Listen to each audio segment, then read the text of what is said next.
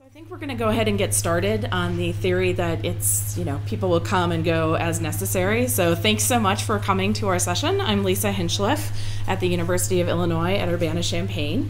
I'm joined in person with Emily King from the College of Southern Nevada. And we um, will be joined virtually by Jason Griffey, who is at the Berkman Center at Harvard University, and Michael Schofield, um, Schofield, Schofield? This is the problem of ever only ever communicating online. I'm like all of a sudden not sure. Uh, front front end lead and partner at LibUX. So we're really excited to um, present this today. It's been a very um, fun time to put together this issue oriented briefing. And particularly as an issue oriented briefing, we thought it's worth spending just a little bit of time sort of on, you know, what is our goal with this session today. Um, so I'm going to give a little bit of an overview of the purpose and vision of the session. Michael is going to give us some thoughts on the conversational user interface. Emily will give us um, a perspective on the bot as the new library patron, so when the user is the bot. Um, and Jason will um, provide some context of sort of future developments and maybe some of the ethical concerns that might come along with using these technologies. The goal of an uh, issues oriented session is also to have a significant amount of time, hopefully, for questions and comments and discussion. So, before we get started, we thought we'd like to hear a little bit from maybe one or two of you today about what drew you to this session and what you're hoping to gain out of it, and perhaps even if your library is experimenting with any of these particular technologies, or I shouldn't say just experimenting, maybe you have it full blown implementation. So, anyone want to speak up? Anthony, go ahead. Uh, yeah, Anthony Helm Dartmouth College. Um, you know, voice-based interfaces are kind of pervading the home life, mm-hmm. uh, gadget life right. in general, and so I think it seems only appropriate that we, you know, kind of respond uh, and figure out if there's a, a purpose and appropriateness here. Uh, we've just started really just scratching the surface, playing around with the Alexa interface mm-hmm. and what it can do for something as simple as, you know, is library branch X open? Open. Today? Okay. Uh, yeah. so Great. Just, just starting Great, wonderful. Anyone else thinking or thoughts about this? Uh, I'm Donald Barkley, Library. We, along with some faculty, we did a little experiment with machine learning ah. a few years ago and developed something that kind of worked. We haven't been able to really develop it further, but I'm really interested in this idea of what can we do with machine learning and artificial intelligence. Mm-hmm. Word, but, you know, yeah. Um, what application that might have in our field. Great, great, fantastic. Uh, one more from anyone? Yeah, go ahead. So I'm, my name is Sebastian. I'm with, with Index Data, and I'm part of the, project to build an open source library service platform. Right. I'm, I'm interested in possible applications of this. What, what challenges might this have for architecture, for data modeling? Right. Fantastic. So it's great. We've got a variety of perspectives already um, being discussed in the room here from the idea of uh, service development, um, exposing our content, and even as we think about sort of building the next generation search and discovery tools, what does it mean to think about these things from day one as opposed to, you know, year seven or whenever a lot of this is coming along? So, I want to tell a little bit of a story here about it's already been mentioned that for a long time, this, this was the early term days, integrated performance support is like the generic, the scholarly term for this. The idea that there would be assistance that's provided to somebody as they're doing a task. And this is really becoming quite pervasive already in the consumer and business marketplace. It's very common if you call a help desk for any company where you think, and you may actually be speaking with a human being, that there's actually a supportive system that allows a help desk or a customer service agent to manage 10 to 15 calls simultaneously by actually manipulating pre recorded messages that allow them to increase the volume of calls that they can handle simultaneously. So that's a kind of performance support as opposed to a replacement, which is, of course, part of what the bot world is also doing. We're seeing in sales that a lot of the applications of this machine learning is helping businesses decide which leads to pursue and which sales calls should people go out on because the algorithms are increasingly able to predict the more likely sales and the like. We're seeing in legal research the development of bots that search the literature and write legal briefs. And if you haven't seen it already, his name is Ross, R O S S. Um, and there was a big article with the headline, you know, law firm hires its first robot attorney. probably more a law clerk, legal clerk. Um, but the point being, geez, research and writing, those sound an awful lot like something we might have thought were sort of uniquely human tasks. Um, journalism, increasingly, many of the stories that we read in the media were written by a computer program.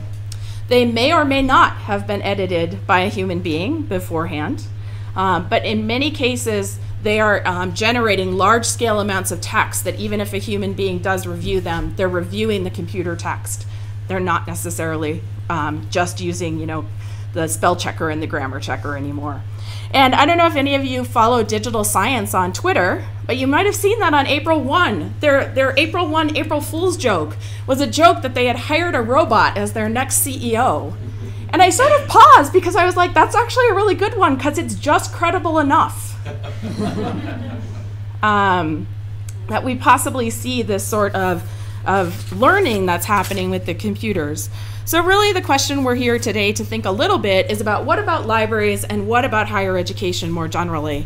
And I have to tell you that this talk for me is, is, is 18 years in the making.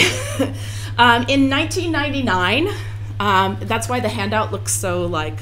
I did find the handout. I'm kind of proud of my librarian foo that I could find the folder, where I gave a talk about virtual futures developing new models of instruction in which you'll see this section called Integrative Learning Support. Now, I will tell you, we librarians are the nice group. I was actually booed when I brought this up in 1999. Um, the idea that something would begin to provide this kind of learning support. So I'm kind of excited to feel a little vindicated. And I also like us to take a moment here to just really recognize the amount of effort and work it took in 1999 to get a screen clap of Clippy to appear on this handout. um, and one of the interesting things is the problem with the Microsoft Clippit wasn't the technology. It actually did the tasks it was supposed to do rather well. It recognized the kind of task you were doing and offered you the support. What Microsoft hadn't understood was the psychology of humans accepting that kind of support. And so, really, a great amount of the research in the last 20 years has not just been on the algorithmic developments, the machine learning, but actually on studying human beings and how we respond and interact with um, these kinds of support. So, the technology is improvement, but as much AI is about the acceptability to humans, which is increasingly pervasive, and honestly, we don't even necessarily realize it's happening when it happens in these kinds of customer service interactions. So I think it's very common. I think almost everyone in the room has probably like quoted Lorcan Dempsey at some point, right? About the libraries being in the flow. And this is really what this kind of supportive environment could put is put our services and resources in the flow if we can figure this out. Um, so I'm giving you a little bit of timeline here. It feels very amazing to me that that was 12 years ago that Lorcan really put forward this idea that we've been really working with since then. In 2007, I was fortunate to be a presenter at the Ticer Summer School. And Anne Christensen from Hamburg University gave a presentation there about Stella. And Stella was a reference bot that they had developed and put onto their website, which could answer an immense number and percentage of the kinds of questions that we typically get asked in our virtual reference services. Um, it was an early prototype. Um, she was live for a number of years. Um, she no longer is live. And there's all kinds of things we can reflect upon, and that Jason will also help us with with respect to gender and um, many of the ethics of what's coming up in this kind of situation. We can see moving forward in time that in 2014, 15, and 17, we have the new Media Consortium's Horizon Report Library Edition, and only in 2017 has artificial intelligence emerged as one of the technologies that the library panel um, says is really affecting. We can see that in 2015, machine learning was there. Um, so there's obviously some relationship. I've been on that expert panel all along, and so it's been interesting to participate in the dialogue over time about whether this really is prominent. I can tell you that these concepts were on the talking table in 2014 and did not emerge. So, the other thing I think is interesting is that these were the semi-finalists. And you will see that important development in technology, virtual assistants, was a semi-finalist. So this idea that Emily will talk about with the bot as our customer um, is definitely emerging as well. Finally, um, Chris Bourg, who, nice to see you, Chris. Um, after we proposed this session, but since then, she gave a very interesting talk with a provocative title What Happens to Libraries and Librarians When Machines Can Read All of the Books? Um, a number of the things. I highly commend this uh, to you for reading after the session. Um, and I know that, um, you know, it, lots of things to think about here that I think really resonate with the things we're going to be talking about. So there's a lot of questions in this arena. Um, you know, when should we deploy bots? How do we design content when the reader of content might not be a human being, but might be a bot or an AI or a machine learning device? I don't even know. We don't have good vocabulary for this even yet. How should our information literacy programs help users develop fluency with conversational and voice based search and retrieval? I know that they promise that it, you won't need any help, but you know, having taught a lot, a lot of library systems over the years that that we were told that you know users would just understand them. You know, there's better fluency with querying Siri and Alexa. And should we be teaching this? What are the ethical and legal implications of deploying these technologies? And I think we've thought a lot about ethics of the last few years with um, privacy and data and PII, but it only gets bigger when we get to this environment. What of the threat of existing jobs to libraries? When I was at ACRL, I heard somebody reflecting on the New Media Consortium report and describing this sort of bot development as dangerous for libraries, really talking about the displacement of library workers. Um, so, and then finally, is there a threat to libraries from artificial intelligence competition? Because when you see something like Ross that goes out and queries databases, right? And eventually, is the database actually what somebody, a law firm purchases, or do they purchase Ross and the artificial intelligent bots just come built in with that machine learning and having read all the content or uh, to, to hearken to Chris's comments? So there's a lot, I think, to think about here today. And now I have to do this like moment of fantastic technology switch to hear from Michael we need to be on the same page when we talk about conversational UI. And we can start by not conflating it with voice UI, although on a Venn diagram, these circles are definitely overlapping. What we're talking about is this conversational back and forth, this input and output that we use to guide users through a task. And as an interface, well, it's it's an interface. It's that thing that connects you to whatever it is you want. It's not too dissimilar from other interfaces in sort of the abstract sense. As soon as we could automate stuff, we designed interfaces to communicate instruction, take feedback, receive, and synthesize information uh, using all sorts of gadgets and doohickeys, buttons, levers, cranks, and blinky red lights. That even given the power of the space shuttle in the palm of our hand, we continue to rely on not because our devices aren't capable of more. I mean, we embellish these buttons and switches and dials with animations and accelerometers so that our virtual applications respond to the laws of physics, but our buttons still depress and are defined by their box shadows because these decades old conventions are just that conventions. They're familiar, intuitive. Push red button, blow something up. It's easy. You've heard good UX is good business. And figuring out how to make this stuff easier is an entire discipline unto itself. And a long time ago, we discovered that against the backdrop of menu bars and sidebars and calls to action and other bullshit, that a conversational tone really went a long way. We began to instruct our colleagues to write for the web, and it's here where we can begin to visualize a spectrum of conversational UI, beginning with just kind of making our print chatty, tonally appropriate. In fact, the first popular novels were epistolary, these letter forms, because you, the reader, were the intended recipient of those. You were participating. You weren't abstract, unfeeling observer from afar. You were part of it. It's this connection that, in part, describes how the novel began to outsell just about everything else. And really, it's so easy, it's so natural, so obvious. But once you begin to introduce the possibility of actually instructing the application through chat, type or spoken, you see that our interfaces going back and back and back have always been compensating for our inability to talk to our machines because they couldn't talk back.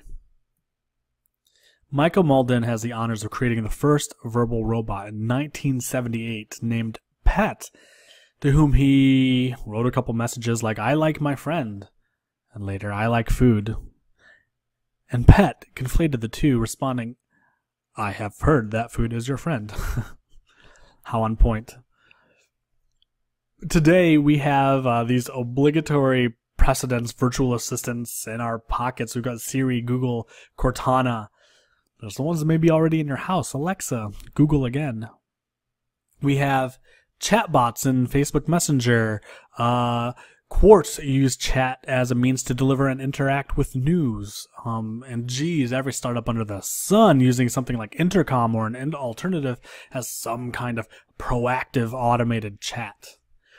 What's cool is like I even saw this uh, use case recently of a chatbot embedded in a long form article and kind of periodically throughout as a way to suss out more information on a topic or get kind of like a backstory from the authors themselves. For as many flavors as these things are coming in, what we are finding, presuming they work, is that they work better than what came before. We asked for directions from Siri or Google instead of tapping in our car because we don't want to die and um, we may accidentally order a whole bunch of dollhouses instead of noticing our mistake, but that's better for Amazon.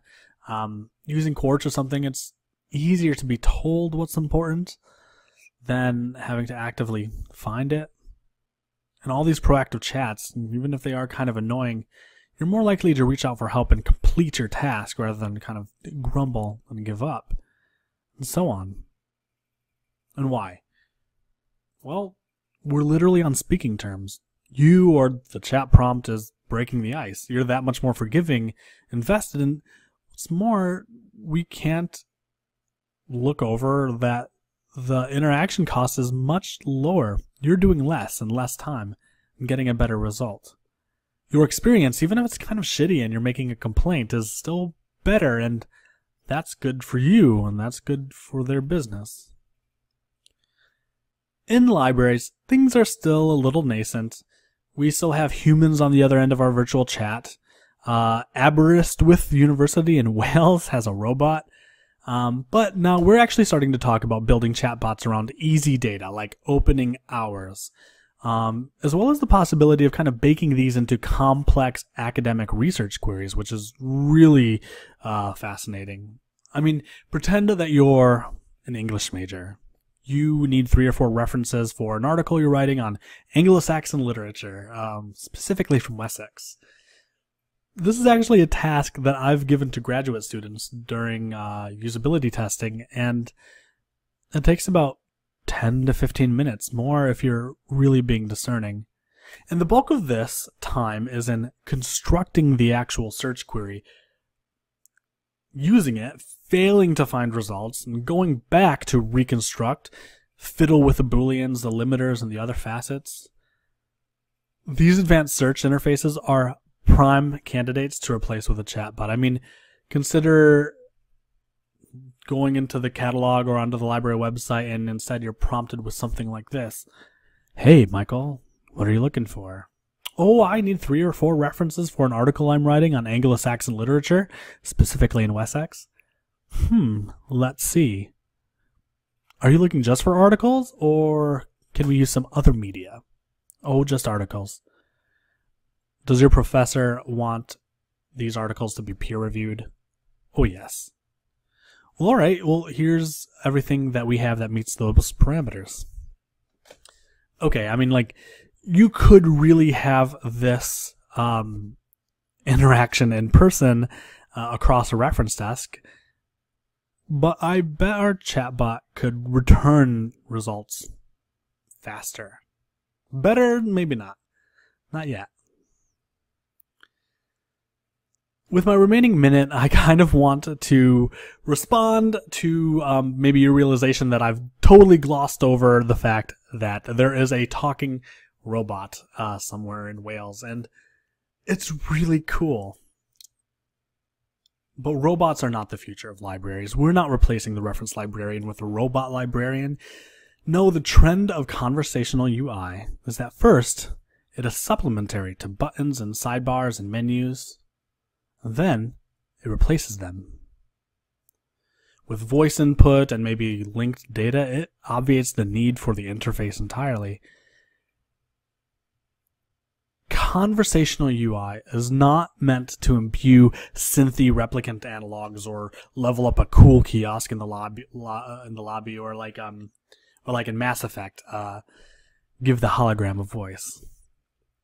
Rather, the future of libraries leans toward an indescribably thin layer between you and the services you want performs. It removes barriers, it doesn't add them. Rather, conversational UI predicts no UI whatsoever. Thank you. Um, I get to follow up Michael and kind of that that big um, idea that's coming out, and this is what's really exciting. Thinking about this conversational UI is it's really not an update in the interface, as Michael mentioned. We are really looking at the end of interfaces, the end of the way that we've always done things, and a new informational experience for us and for our users and just information in general that's dependent on smart technology in a way that we just really couldn't imagine before. So um, I've been doing library website design for a while. I won't say how long, but um, it's been a while. When I started, it was very much defined by me as the designer. Um, I defined what content was going to exist on what pages, um, how people navigate through that content, they could choose what path they take that they took, but I'm really the one as the designer deciding what those paths are going to look like. What are those options going to be? How um, are they going to interact? And then we had the advent of the read write web, Web 2.0, and that kind of really opened things up. And we started to see that content just isn't one way. It's going to be created by lots of different people, and we're going to build all of that in. And then we had the mobile revolution, and then we were looking at content's not just going to look one way, it's going to be adaptable to the user and how they're viewing it. And now we're going into an even bigger revolution where the content we have no control over now. It's not even being interpreted necessarily by the users in the way that we think of them.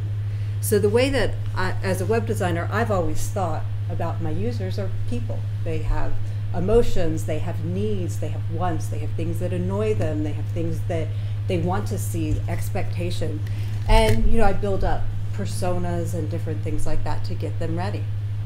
As I've been learning more about this revolution, I've realized that's not who we need to be designing for anymore. This is who our new user is. And this new user is does have wants and needs, but they're very different from a human user that's using this information. And I'm just gonna, in the brief time, kind of talk about things that I think we should be thinking of at, when we're designing for bots and conversational. Yeah, yeah sorry about that. um, first, we've always, well, as library web designers, we always kind of looked at what's going to be uninteresting. What are people going to get bored with? Computers aren't going they don't have that same limitation. They can process all the information and not get bored with it they're good with doing that complicated logic stuff that's sometimes hard for our human users and we have to design a lot of ways to make it easier for human users we're not having to do that in the same way for bots and cuis um, they're not going to get overloaded by information in the same ways that we're used to that happening. And I put a little asterisk there because we do still need to worry about processing time, but processing time is something very different than cognitive overload of humans, where it might take them a long time to get through data, but they're not going to stop because, whoa, this is too many links for me to look at. I can't even begin. They don't get distracted. They don't watch cat videos. And they don't care if things are visually interesting. Um, they're, these new users, they are very focused on data information, which is great news if you're an information professional. now, there are some, some real big limitations, at least now, that when we're looking at this kind of interaction. Bots and CUIs, they're not human. And um, I know that's obvious, everybody knows that, but there's a lot that we assume with working with human users. There's a lot of inferences, affordances, different types of things that you can assume a human will know because they've had a similar human experience. And with bots and CUIs, they don't have that experience. They can't guess, they can't figure things out.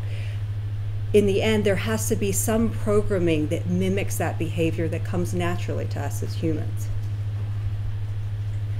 Another thing to keep in mind with bots and CUIs that's different from how we interact um, with some of the technologies that we have now is because it's a conversation, they're going to want to give an answer rather than a list of results. And a lot of the sort of self correction that we assume with human behavior comes from giving people a results list as opposed to a single answer. So that human um, ability to discern whether something is relevant or ir irrelevant is going to come in that search results.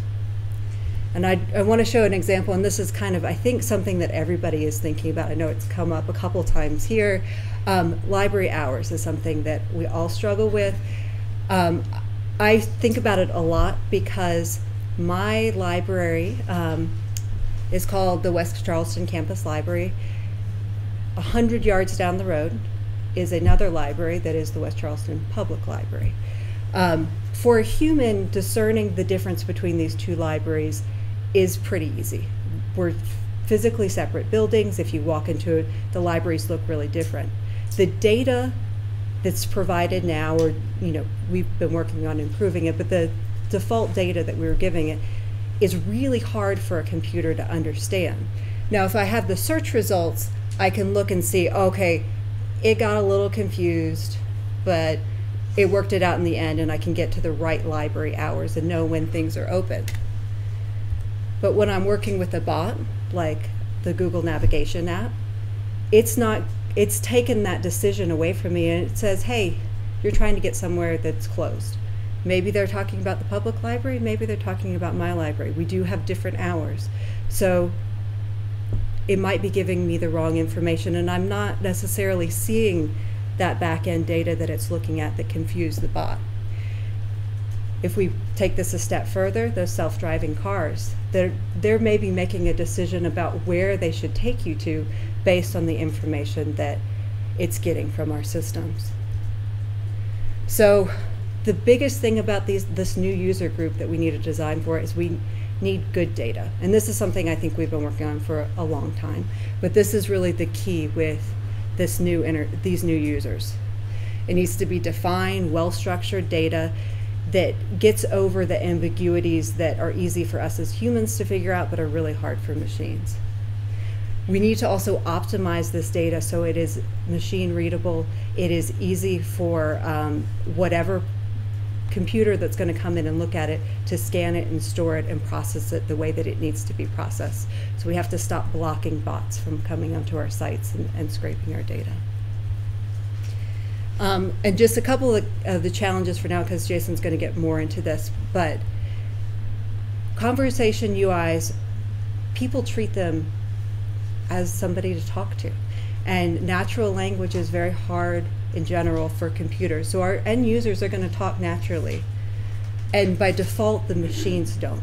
Um, CUIs have to because that's the way that they're built, but that's a that's a programming step, and we need to make sure that we're doing everything on our end to make sure that these CUIs can have a conversation that accurately reflects the data that we're feeding it.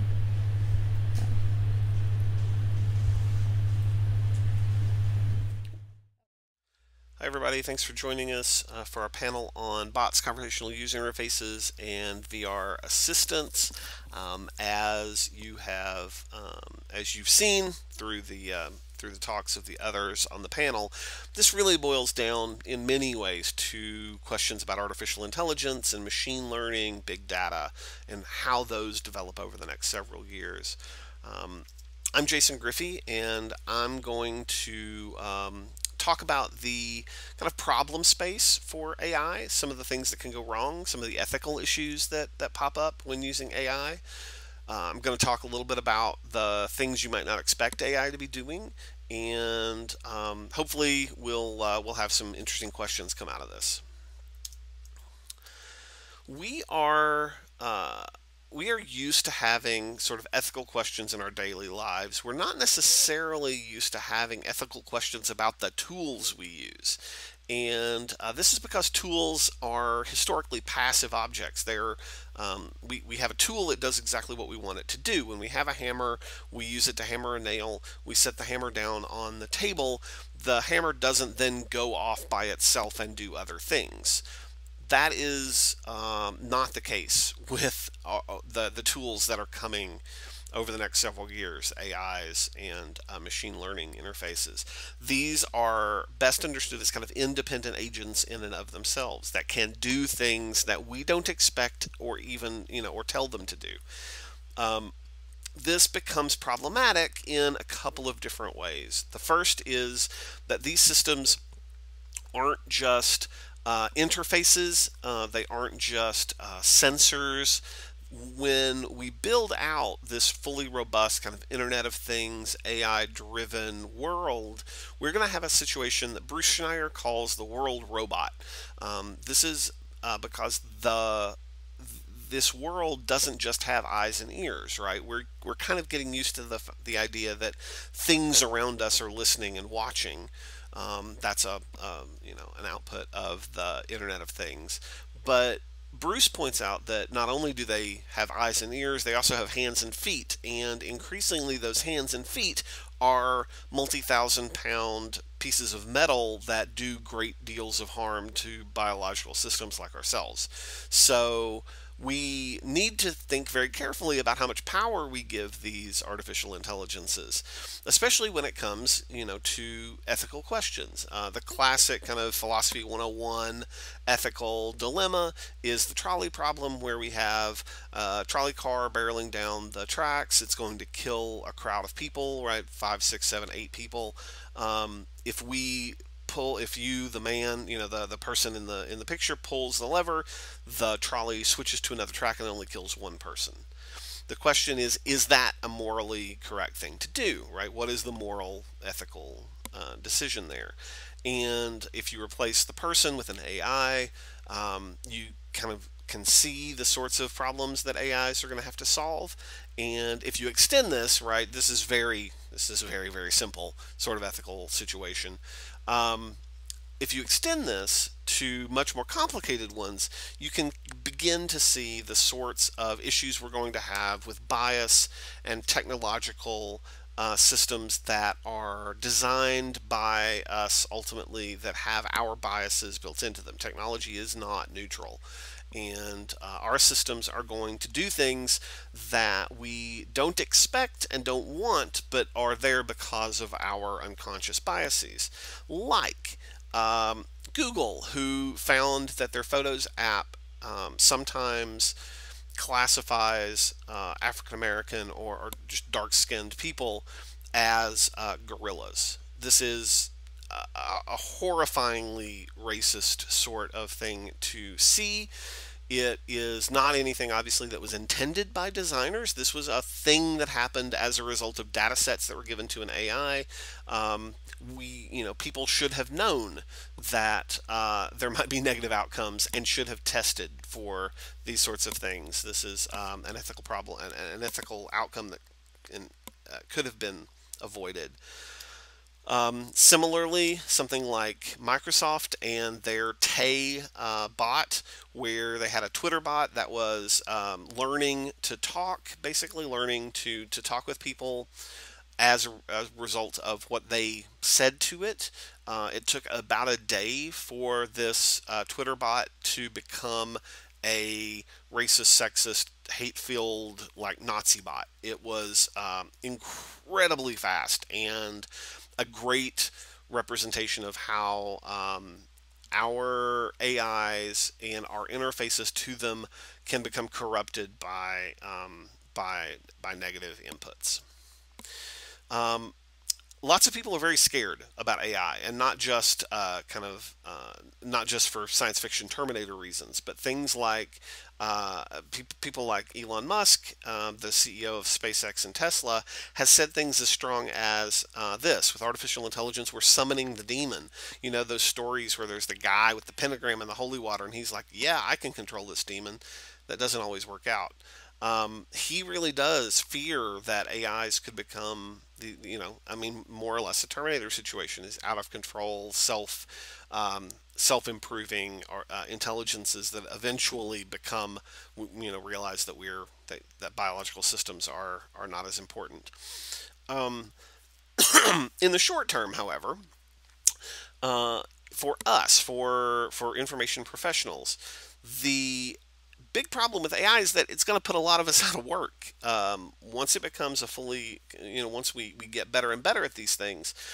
Um, Geoffrey Hinton at the University of Toronto, one of the creators of a lot of the neural net technologies that are intrinsic in these uh, systems, says take any old classification system where you have a lot of data and it's going to be solved by deep learning. There's going to be thousands of applications.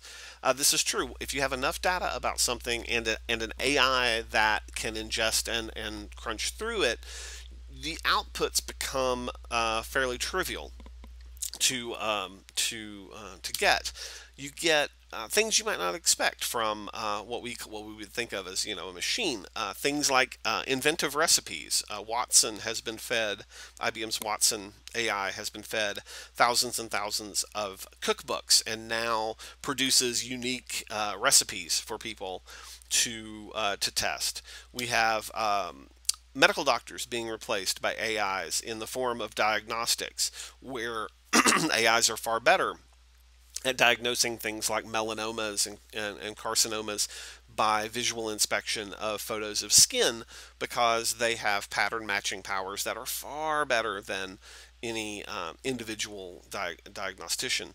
Um, we have studies that show that uh, AIs are better by uh, a few, um, by a significant amount uh, than professionals at diagnosing these things. Unless you think that somehow the information professions are immune. Um, just a couple of weeks ago, there was an announcement about a new company named Ripcord, whose entire job is the ingestion of paper and the output of digital archives, fully scanned, OCR'd, um, categorized uh, you know, metadata added, uh, searchable, findable interfaces, and um, you know, kind of a, a top to bottom AI digitization archival system for corporations. So this is this is here. This is a company. They are taking orders right now more or less anything that involves the manipulation or the interpretation of data is going to be solved and done by AIs in the next 10 to 20 years. And we really need to pay attention to this because it is going to change the way we do our jobs. Um, this is uh, Steve Mnuchin, the current um, Treasury Secretary of the United States. He said uh, in an interview a couple of weeks ago that he didn't think that um, AI was anything to worry about with with American jobs. He thinks he says we're thinking we're very far away, that it's maybe 50 or 100 years from now that we need to think about this. When he said this, effectively the entire technology sphere online went completely nutty and said he's crazy and literally doesn't know what he's talking about because from our perspective, Marc Andreessen was right in 2011 in the Wall Street Journal article where he said that software eats the world. If a if a solution to a problem can be instantiated in software, it is going to be instantiated in software. And moreover, when the software can make itself better at solving these problems, we are going to see it happen at a ridiculous rate of speed. So I think we do have to worry. Um, thanks. That's my very, very brief section of this. And uh, here's my uh, contact information and everything. I look forward to your questions.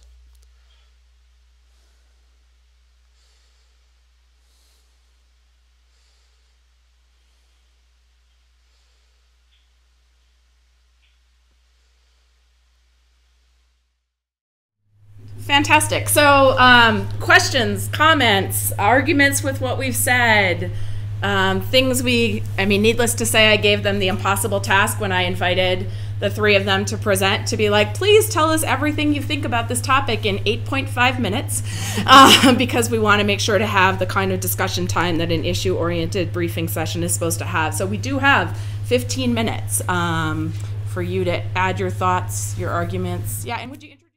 Minutes if anyone wants to come up and chat with them. Um, otherwise, I know Emily and I will be around for the conference and really excited to hear your thoughts and additional conversation. So thanks so much for coming to the session and engaging in this conversation